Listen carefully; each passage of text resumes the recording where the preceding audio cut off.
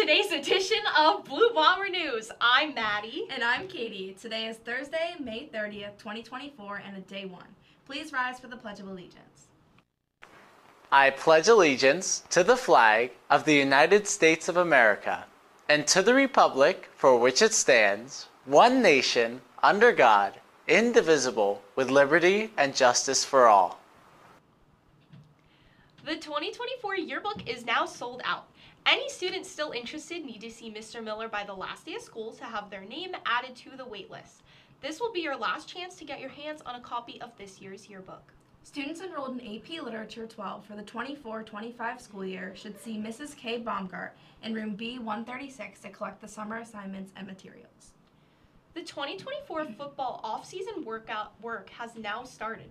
Players will be lifting, conditioning, and performing on-field work with playbook installation. Anyone interested should be attending these workouts. Workouts will be every Monday, Tuesday, and Thursday from 2:55 to 5:30 p.m. There will be no workout on Tuesday, June 4th.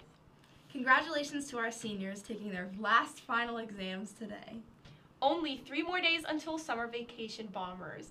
This is Katie and Maddie signing out on our last Blue Bomber News morning announcement. Bye, Bombers. Thanks for watching.